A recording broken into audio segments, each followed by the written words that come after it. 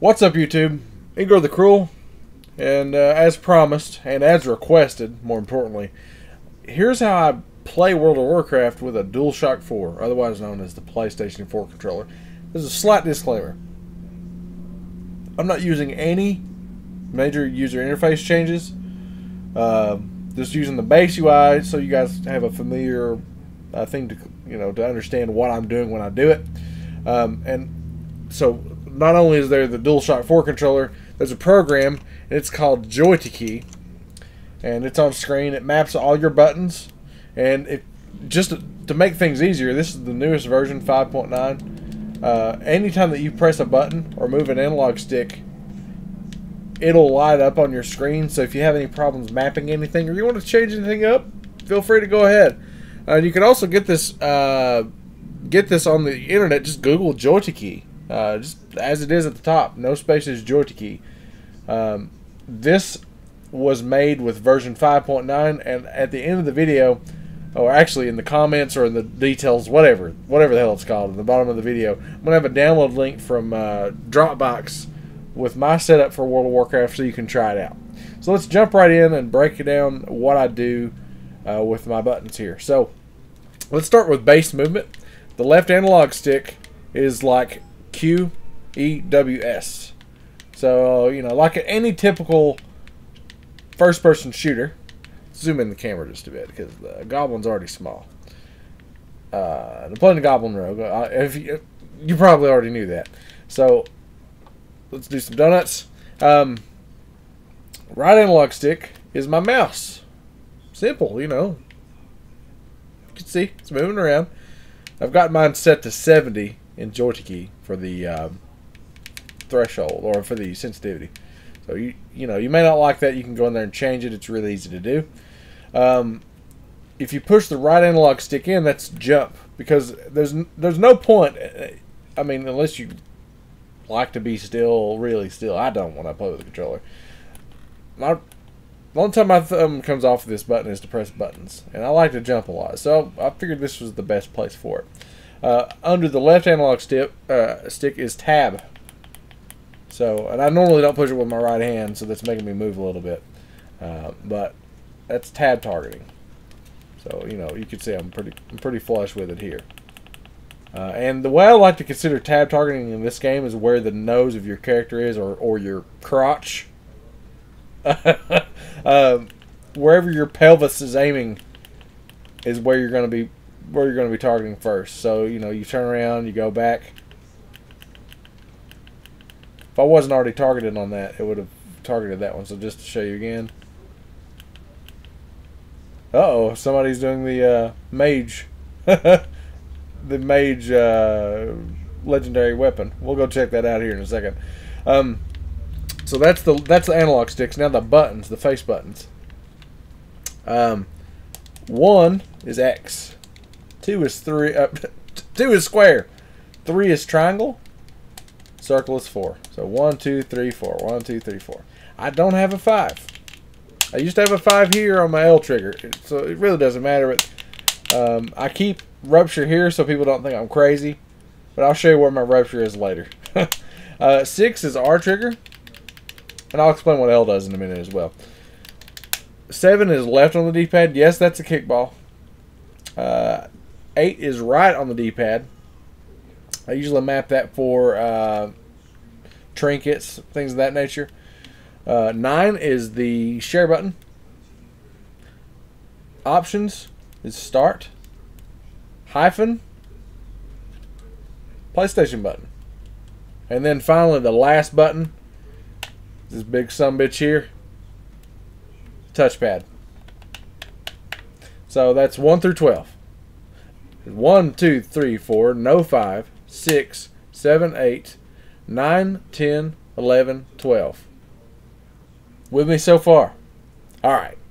So, the mouse, left click is L1. This button takes a beating.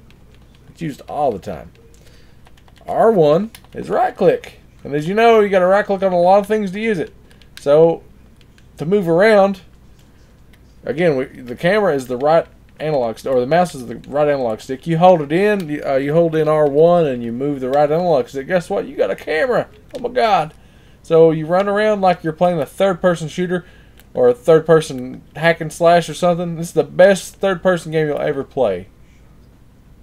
I'm playing my own version of Assassin's Creed as a goblin or, or whatever that one on uh, Styx or whatever that second rate goblin rogue is. He'll kill me in the game now that I said that. Um, so that's movement. Now, I haven't explained what the L trigger does. Um, this is control, and I have buttons on the top of my keyboard here. This is your this in World of Warcraft. These are called your bottom left and bottom right tabs. Um, so to access these, I hold the L trigger in and I press the face buttons again. I map them all differently. You can change them in the key however you want. But here's one, there's two, there's three, which is invincible. There's four, which is shadow step. Here is five for me. Again, you can change these. And here's six, which I normally have that really awesome Argus ability map to it.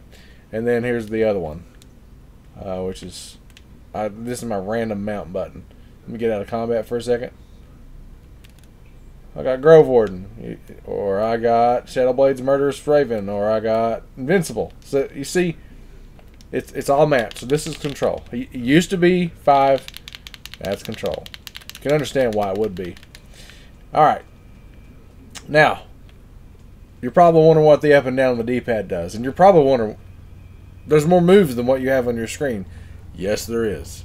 Um, up and down changes tabs. And the way I like to consider things, defensives and movement speed and utility kind of stuff is all mapped on the tab below one, which is four. Because again, I only have the bottom left and bottom right tabs enabled on screen.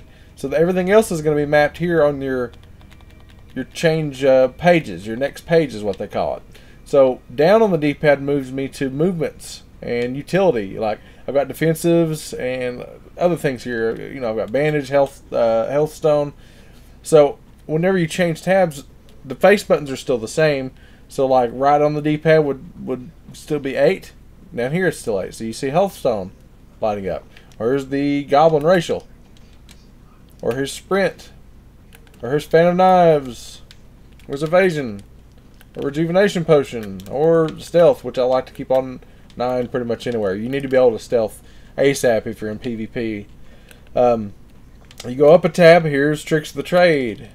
And here's Rupture. For whatever reason, muscle memory is not letting me move that thing from up to. So I'm going to Rupture on this thing. Here's Vanish. Here's Blind. Here's that really cool toy that reduces your falling speed for just a second. Uh, I can't do it while moving. Yeah, I need to jump off something. Screw you, priests. Here's Feint again. There's some buttons I've had there forever. Here's my pre-pot. I'm not going to drink one for this video. Here's the detection, stealth, cloak of shadows. Again, I like it to be accessible too. PvP trinkets down here. So again, it's all about how you want to do it. I'm just, I'm just showing you the door, friends. Uh, so that's how you get around. Now, in order for this to work, though, in order for the change tabs to work, you need to be able to go into your World of Warcraft settings and, and change a few things. So here's some key bindings. And as promised, uh, I'm going to give you the download uh, to my JoyToKey key mapping. Uh, I'm going to have a Dropbox link in the video, so just read the description. Uh, but multi-action bar, you have to have that enabled for the the L trigger to be control. So control one, two, three, four. Uh, just map the bottom left to one. Control two. You have to actually bind this just like you would. You have to um, click on the actual key binding and hold two buttons to get it to work. So hold control, hit one on bottom left action. You don't have to do this, but it's it's pretty handy if you do it. Uh, so that's control one, two, three, four, and whatever you want to do for the rest. It really doesn't matter, but mine is mapped to do um, these. So if you want to take a second, pause the video here and map them just like this, that's fine. Uh, the rest, starting from 8 to 12, is the same. So that's control 1, 2, 3, 4, then the hyphen equal, and then the zero, which is uh, the start button for the controller. Anywho, uh, the next thing you need to do is go to your action bar and set previous action to F5 and next action to F6. I'm not entirely sure what these were base, so you want to just do it like this because in JoyToKey I have this set up to map those buttons. So if you look, I'll go down here to where they are. See where is the up and down buttons. See, POV, up, down, up, down. You can see JoyToKey lighting up when I do it. And here's 7, 8.